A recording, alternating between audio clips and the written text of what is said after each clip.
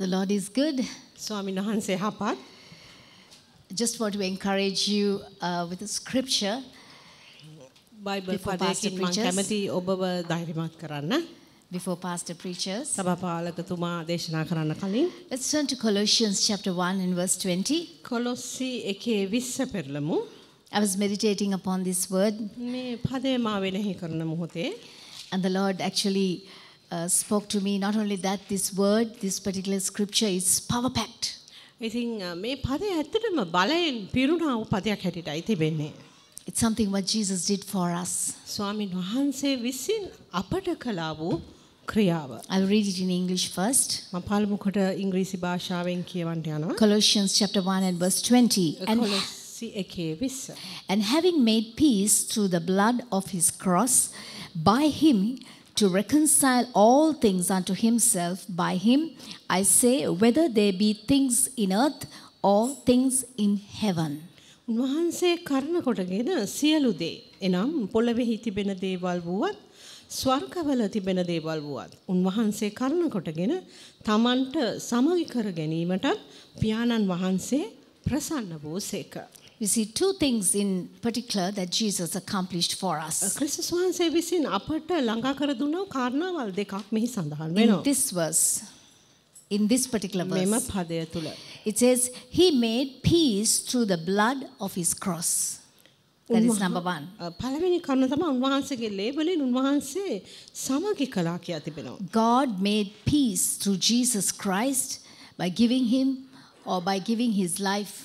on the cross. ක්‍රිස්තුස් වහන්සේගේ ජීවිතය කුරුසේ පූජා කිරීම තුළින් උන්වහන්සේ අපව දෙවියන් වහන්සේ සමග අප සමාදානය ඇති කළා. The second thing it says, He reconciled all things unto Himself or unto God, things on earth and things in heaven.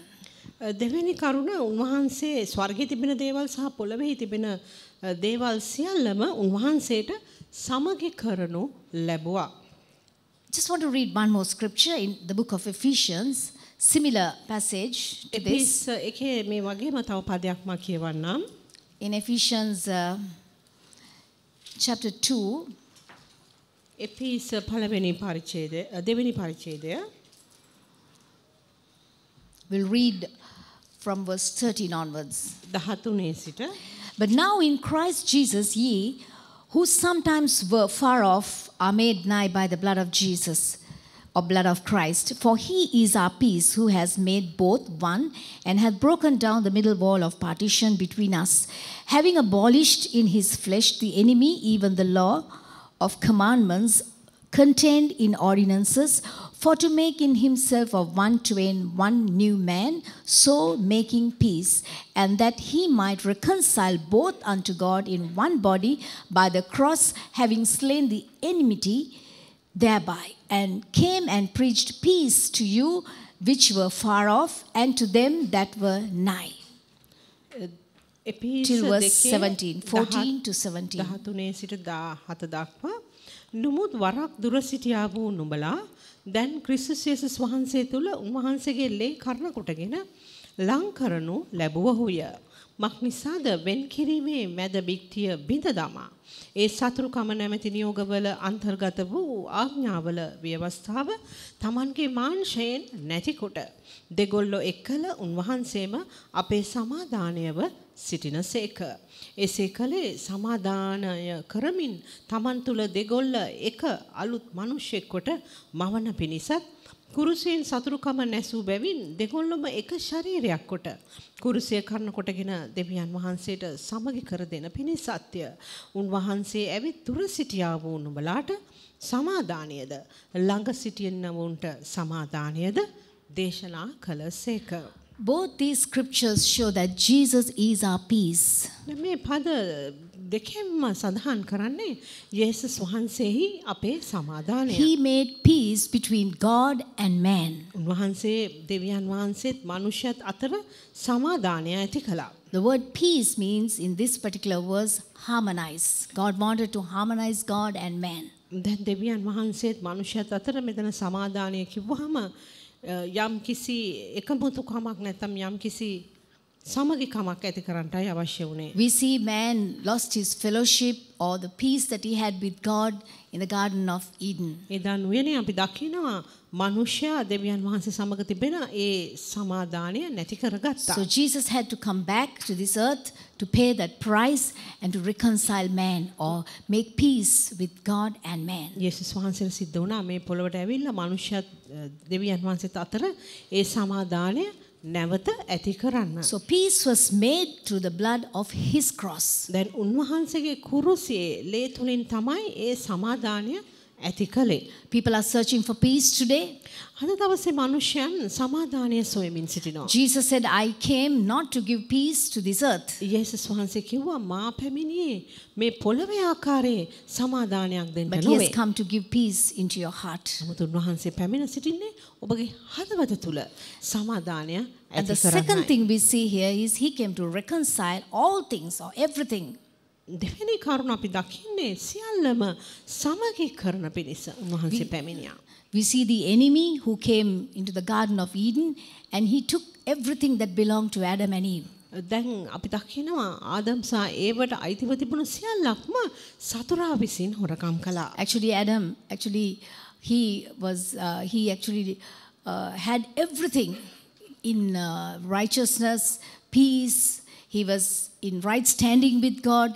He possessed everything, but he lost everything just in a moment. ආදම්ට සියල්ලක්ම ලැබී තිබුණා. උන්වහන්සේ තුළ තිබුණු ධර්මිෂ්ඨකම උන්වහන්සේ ඉදිරියේ නිර්දෝෂව ස- ක- සිටගන්නට හැකියාව ලැබී තිබුණා. ඉතින් මේ සියල්ලක්ම ඔහුට අහිමි වුණා. You know, God had fellowship with Adam and Eve. දැන් දෙවියන් වහන්සේට ආදම් ආදම් සහ ඒව සමග සහ- සහභාගිකමක් But the තිබුණා. minute sin entered or they obeyed the enemy, we see peace was taken away. ඉතින් පාපය ඇතුල් වූ මොහොතේ සතුරට කී කරපු මොහොතේ මේ සමාදානය උන්ගෙන් ඉවත් වී ගියා. There was a disconnection වෙන් between කිරීමක්, God and man. විසන්ධි භාවයක් ඇති වුණා So දෙවියන් Jesus- වහන්සේත් මනුෂ්‍යත් අතරේ. Jesus had come had to come down to reconcile man unto himself. ඉතින් ඒ නිසා යේසුස් වහන්සේට සිද්ධ වුණා පොළොවට පැමිණෙන්න නැවත මනුෂ්‍යව So සමාදානය ඇති this කරන්න. word reconcile means දැන් මෙතන සමගි කර දීම කියන වචනේ පාවිච්චි in the book වෙන්නේ of Colossians chapter 1 verse 20 කොලොස්සි එකේ 20 ඒ වචනේම තිබෙනවා. God bought everything back to himself. දෙවියන් වහන්සේ නැවත උන්වහන්සේට සියල්ලක්ම ගනු ලැබුවා. He brought everything back to the original condition. මුලින් තිබුණු තත්වයටම උන්වහන්සේ නැවත සියල්ලක්ම ගෙනාවා. He lost man, he lost fellowship with man, Manush- and even his creation, everybody fell into sin. උන්වහන්සේගේ මැවිල්ල උන්වහන්සේට අහිමි වුණා. උන්වහන්සේ මනුෂ්‍යව අහිමි වුණා. මේ සියල්ලක්ම පාපය නිසා වැටී ගියා. But through the sacrifice of Jesus Christ, God got back everything. නමුත් ක්‍රිස්තුස් වහන්සේගේ පූජාව තුළින් දෙවියන් වහන්සේ නැවත උන්වහන්සේ වෙතට සියල්ලම ගනු ලැබුවා. And the word reconciliation or the word reconcile in Greek means uh, to bring back everything. දැන් To bring back Samagi- everything. සමගි කරදීම කියන වචනේ ග්‍රීක අර්ථය ගත්තාම මේ ආ- සඳහන් වන්නේ හැම දෙයක්ම සියල්ලක්ම නැවත ගැනීම. Another meaning is to bring back a former state of harmony. ඒ වගේම අ, To harmonize, they had relationship. එකමුතුකම වගේ එකමුතුකම වගේ සියල්ලක්ම නැවත ඒ මුලින් තිබුණු එකමුතුකමටම ගෙනීම. You know, the relationship that God had with Adam was broken. දැන් ආදම් සමග දෙවියන් වහන්සේට තිබුණු සම්බන්ධකම බිඳී ගියා. So through Jesus Christ, you know, sacrificing his blood on the cross, it brought peace between God and man and it reconciled man to God. ඉතින් යේසුස් වහන්සේ කුරුසය තුලින් නැවත දෙවියන් වහන්සේ මිනිසයා සමග සමගි වෙමින් ඒ සමාදානය ඇති කළා. And another meaning of that word reconcile means he restored everything. එතකොට සමගිකම කියන වචනේ තවත් අර්ථයක් තමයි නැවත පිහිටුවීම. සියල්ලක්ම නැවත පිහිටුවීම. He restored righteousness. ධර්මිෂ්ඨකම He උන්වහන්සේ නැවත restored, පිහිටෙව්වා. he restored peace සමාදානය උන්වහන්සේ නැවත පිහිටෙව්වා. and he restored victory unto mankind. ඒ වගේම මනුෂ්‍ය වර්ගයා වෙත ජයග්‍රහණය නැවත So පිහිටෙව්වා. that man could have relationship and also a fellowship with God himself. ඒ තුළින් මනුෂ්‍යයට නැවත උන්වහන්සේ සමග සම්බන්ධතාවය පමණක් නොව සහභාගිකමකුත් ඇති කළා. He also gave man the power and the authority that he lost in the garden. එදා නුයනේදී මනුෂ්‍යයට අහිමි වී ගිය ඒ ආධිපත්‍ය උන්වහන්සේ නැවත ලබා දුන්නා. Man had authority and power over everything. That's what the Bible says in chapter 1. But he lost everything because he sinned. බයිබලෙ සඳහන් වෙනවා පළවෙනි පරිච්ඡේදයේ මනුෂ්‍යයාට බලය තිබුණා මුලින්. සියල්ලක් කෙරෙහි ආධිපත්‍ය තිබුණා. නමුත් ඔහුට පාපය නිසා සියල්ලම අහිමි වී ගියා. So through Jesus Christ, he released that power and authority so that they could once again walk in that power and authority and that supernatural works that you know they were not able to do god said i give you power and authority once again you can walk in that realm of supernatural ඉතින් මනුෂ්‍යයට අහිමි වී ගිය යේසුස් වහන්සේ ඇවිත් නැවත ලබා දුන්නා. ඉතින් මනුෂ්‍යයට නැවත වාරයක් ඒ ආධිපත්‍යයෙන් බලයෙන් ක්‍රියා කරන්න අදිස්වභාවික තලයේ ක්‍රියා කරන්න නැවත ඔහුට හැකියාව ලැබී තිබෙනවා. jesus said in john 10:10 that the enemy or the thief has come to steal kill and destroy but i have come to give you life and life in abundance Yohan 10 10 කියන සතුරා එන්නේ සතුරා එන්නේ සොරකම් කරන්නටත් මරන්නටත් විනාශ කරන්නටත් පමණක්ය. නමුත් මා ඇවිත් සිටින්නේ ඔවුන්ට ජීවනය ලැබෙන පිණිසත් එය අධික ලෙස ලැබෙන පිණිසත්ය. and verse 21 in colossians chapter 1 verse 21 කොලොස්සි 1:21 කියනවා And you that were sometimes alienated and enemies in your mind by wicked works, yet now hath he reconciled. Verse 21. විසියක් වෙනි පද කියනවා පසුකුය කාලයේදී අන්‍යයන්ව නුඹලගේ නපුරු ක්‍රියාවලින් සිතින් සතුරන්ව සිටියා වූ නුඹලා උන්වහන්සේ මාංශමය වූ ශරීරය මරණය කරන කොටගෙන සමගි කරගත් සේක. Even in the old covenant, we see the Jews, they had a covenant, but they could never call God above Father. They could never come boldly before God because they knew that they were sinners. ඉතින් පරණ ගිවිසුමෙහි ඒ දෙවියන් වහන්සේගේ සෙනඟට ගිවිසුමක් තිබුණාට ඔවුන්ට තිබුණේ නැහැ උන්වහන්සේ සමග උන් පව් ඔවුන් පව්කාරයන් හැටියටයි සිටියේ නිර්දෝෂීව ශුද්ධ උන්වහන්සේ ඉදිරියට පැමිණෙන හැකියාව තිබුණේ නැහැ.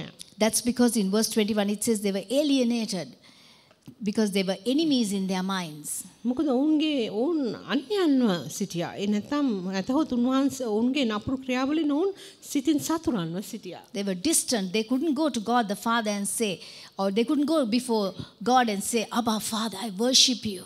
They could never say that. දුරකින් සිටියා. උන්ව ඔවුන්ට කියන්න හැකියාව තිබුණේ නැහැ පියාණන් වහන්සේට දෙවියන් වහන්සේට අබ්බා පියාණනි කියලා. මොකද There- ඔවුන් ඊට දුරස්ව සිටිය නිසා. Their sins were just covered by the blood of bulls and goats, sacrifices of animals. ඔවුන්ගේ පාපයට වැස්මක් තමයි ලැබුණේ ඒ සතුන්ගේ ලේ පූජා කිරීම තුළින්. But through Jesus' blood, the Bible says that He has reconciled us, that we can go and say, Abba, Father, I come to you boldly because of Jesus Christ. නමුත් ජේසුස් ක්‍රිස්තුස් වහන්සේගේ ලේ තුළින් අපිට හැකියාව ලැබී තිබෙනවා.